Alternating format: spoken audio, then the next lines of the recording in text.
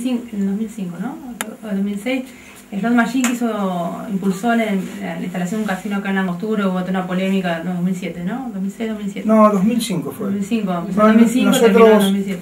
fue así, eh, nos, en esa oportunidad nos invitó Hugo Panesi, tuve muchas reuniones con él aquí en Buenos Aires, me incentivó a, a meterme un poco en la posibilidad de, de generar un desarrollo de entretenimiento, que es nuestra especialidad, y hicimos una propuesta este, que en ese momento no, o sea, no, evidentemente no gustó en la sociedad y se dio marcha atrás porque salió un plebiscito que todos conocen y bueno, ¿Tiene intenciones de, algún futuro? no, es, más, hemos tomado la decisión de vender esa propiedad.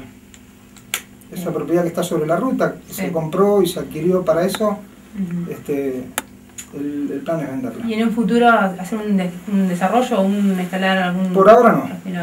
Por ahora no.